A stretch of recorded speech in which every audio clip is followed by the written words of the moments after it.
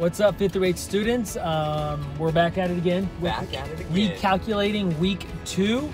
Um, last week we talked about um, Joseph and how all the recalculations in his life were all according to God's plan.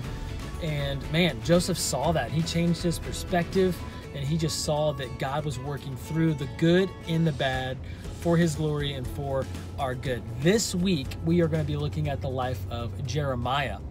And if I'm honest with you, when plans change, I have a hard time with it. Me like too, I. I oftentimes want to like just grit my teeth and just like get through it. But what we're talking about today and what we're going to see in the life of Jeremiah is that not only do we just need to like survive God's plan and just like get through it, we need to align with it. You need we need to thrive within God's plan. And what that does is that helps us understand that the recalculations, the changes in our life happen all according to his will. And so, Nathan's going to take us into the life of Jeremiah. See you soon.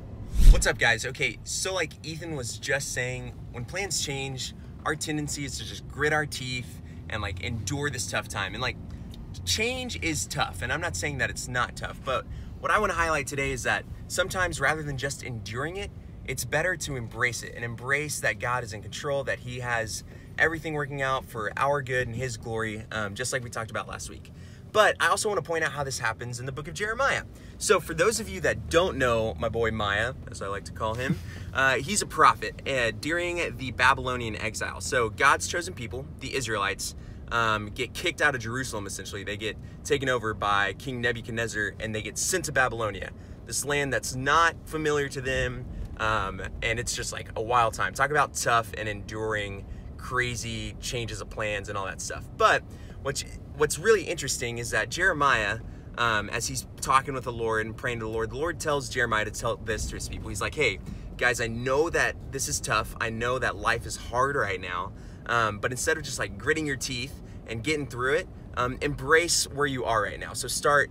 Um, having kids, start building your family, start uh, building farms, like making farms, like seek the welfare of this city in Babylonia in your captivity when times are just you know? Seek the welfare so seek things that are good. And he's like and just be be faithful that i i'm gonna restore you. I'm going to bring you back to jerusalem. All these things. So um, i'm gonna pull up my little bible app here if you don't have it. It's nice to download. Um, so he says build houses build families build farms take care of yourselves seek the welfare of the city. And then he says this when 70 years are completed for babylon i will visit you and i will fulfill to you my promise and bring you back to this place verse 11 of Jeremiah chapter 29, by the way, pretty famous verse. For I know the plans I have for you, declares the Lord plans for welfare and not for evil, to give you a future and a hope. Um, then you will call upon me and come and pray to me, and I will hear you. And this is arguably my favorite verse, verse 13. You will seek me and find me when you seek me with all your heart. I will be found by you, declares the Lord, and I will, I will restore your fortunes and gather you from all the nations and all the places where I have driven you, declares the Lord, and I will bring you back to the place from which I sent you into exile. So, he's telling these guys, stay faithful for you where you are right now. Present faithfulness is the way I like to think of it, and then holy ambition, like knowing that the Lord is going to bring something good and glorifying to him out of all of this. So Nate talked about embracing, not just enduring the challenge ahead of us.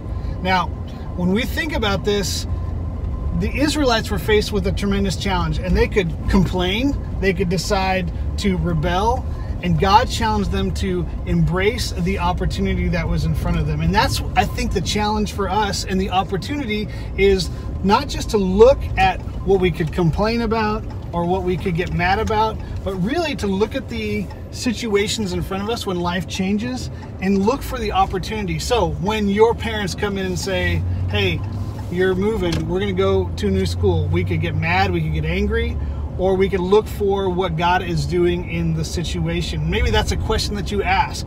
Whenever life throws you a curveball and your life has to recalculate, uh, to stop and go, what God, what might God be asking of me today?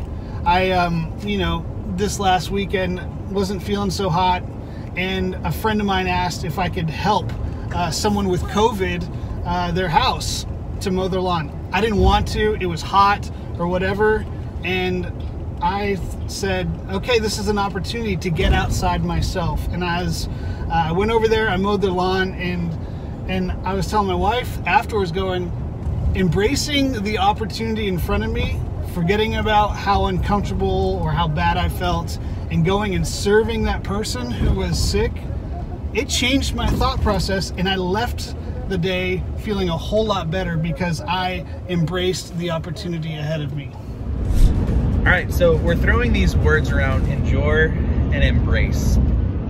And if we're just enduring the recalculations that are thrown our way, um, not truly embracing God's love and God's plan, we're missing out on the peace and the joy that really comes from that relationship with Christ. See, God doesn't just endure his relationship with us, he embraces us as sons and daughters. He loves us. That's why he sent his son down here for us. Next week, for recalculating, we're going to be looking at the life of Daniel. So you don't want to miss it. See you guys next week.